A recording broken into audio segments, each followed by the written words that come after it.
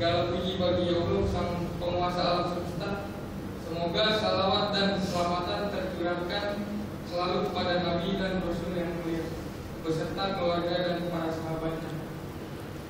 Alhamdulillah sore hari ini saya akan membacakan sebuah hadis Al-Bukhari dan Muslim dengan tema berkurangnya iman karena kurang taat dan pengertian kufur yang bukan kufur kepada Allah. Misalnya kufur kepada nikmat dan hak. Abu Said Al-Khudri berkata Rasulullah keluar pada hari raya Idul Adha atau Idul Fitri menuju tempat sholat. Beliau berjalan melewati sekelompok kaum wanita lalu bersabda Wahai kaum wanita, bersedekahlah kalian karena aku melihat kalian lebih banyak menjadi penghuni neraka. Mereka bertanya, kenapa demikian? Beliau menjawab, kalian banyak menutup dan mengingkari kebaikan suami. Aku tidak melihat orang-orang yang kurang akal dan agama yang le yang lebih bisa menguasai seorang laki-laki yang berakal lagi cerdas lain daripada kalian. Kemudian mereka bertanya lagi, Rasulullah, apakah kekurangan akal dan agama kami itu? Beliau balik bertanya, bukankah persaksian wanita dengan setengah persaksian laki-laki? Mereka menjawab benar. Beliau berkata, itulah kekurangan akal wanita. Beliau bertanya lagi, bukankah ketika seorang wanita haid dia tidak sholat dan tidak puasa? Mereka menjawab benar. Beliau bersabda, itulah kekurangan agama wanita. Hadis riwayat Al Bukhari.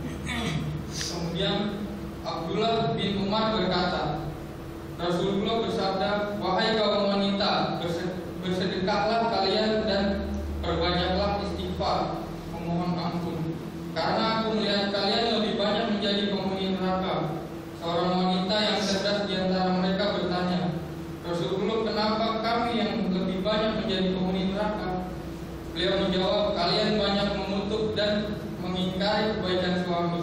Aku juga tidak melihat orang-orang yang akal dan agamanya kurang, yang lebih menguasai orang yang berakal selain daripada kalian. Wanita itu bertanya lagi, Rasulullah, apakah kekurangan akal dan agama itu? Beliau menjawab, yang dimaksud dengan kekurangan akal adalah karena persaksian dua orang wanita sama dengan persaksian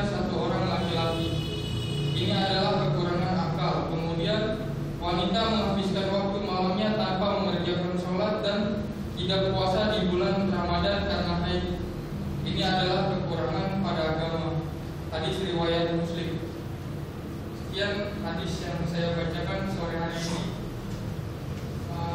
Semoga dapat bermanfaat bagi kita semua dan dapat kita aplikasikan dalam kehidupan sehari-hari.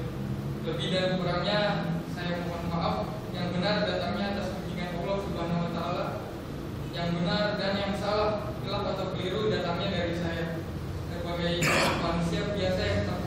together